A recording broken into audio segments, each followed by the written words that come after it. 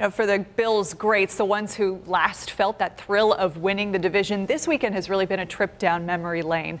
I spoke with five time Pro Bowler Cornelius Bennett today. He says this current team has a similar special locker room connection that he and his fellow players had the last time the team won the AFC East. And he says that is a secret sauce to taking it all the way. The locker room part of it carries over to to, to Sundays and Saturdays. Of course, yesterday been a Saturday, but yeah, that that that's a huge part.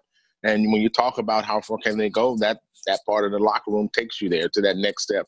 Um, you've always have talented teams in the NFL. Otherwise, you wouldn't make it to the NFL. But you know, when you learn to play together as a team, and the organization, you know, as a whole, you know, is, is everybody's um, has the same agenda, and and that's where we are right now. Bennett has been named semifinalist for the Pro Football Hall of Fame class of 2021.